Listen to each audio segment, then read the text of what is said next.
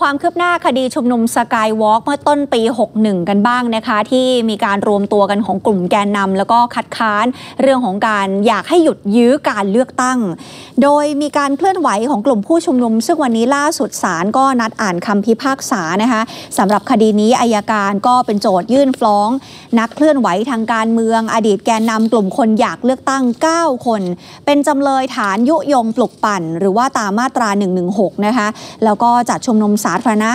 ในรัศมี 150 เมตร จากวังของพระบรมวงศานุวงศ์และฝ่าฝืนคำสั่งหัวหน้าคอสชที่ 12 ด้วย จากการชุมนุมเมื่อวันที่ 27 มกราคมปี 61 นะคะการชุมนุมหยุดยื้อเลือกตั้ง หยุดสืบทอดอำนาจที่บริเวณสกายวอล์กแยกปทุมวัน จำเลยในคดีนี้มี 9 คนประกอบไปด้วยนายวีระสมความคิด นายรังสิมันโรม จานิวศิรวิทย์เสรีทิวัฒน์ คุณโบนัทถามหัฒนา ทนายอานนท์นำพานายเอกชัยหงกังวาน นายสุกฤตเพียรสุวรรณ นายเนติวิทย์โชตพัฒไพศาลและบกลายจุดสมบัติบุญงามอนง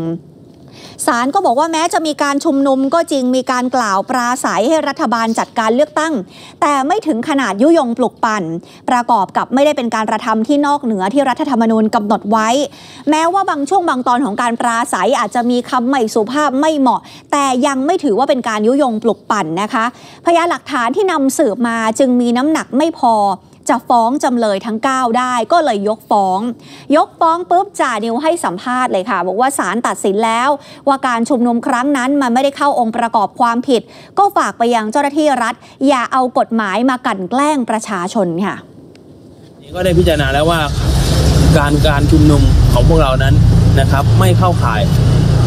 ไม่มีไม่เข้าข่ายองค์ประกอบตามความผิด นะครับข้อเรียกร้องของเราคือการเรียกร้องการเลือกตั้งรัฐต้องการจะให้กฎหมายเป็นแค่เครื่องมือใช้ตามตามตามความต้องการของตนเท่านั้นใช่ไหม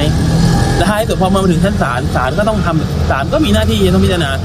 อยู่แล้วเป็นไปตามกระบวนการอยู่แล้ว ดังนั้นขอให้ทบทวนและอย่าได้ทำแบบกระบวนการแบบนี้อีกขอให้เลิกลาได้แล้ว ขณะที่นายรังสีมันโรม สสพักก้าวไกล ก็บอกว่าการที่เจ้าหน้าที่มาใช้ทั้ง 112 และ 116ดำเนินคดีกับผู้ชุมนุม แบบนี้เป็นการตัดตอนทางกระบวนการยุติธรรมค่ะ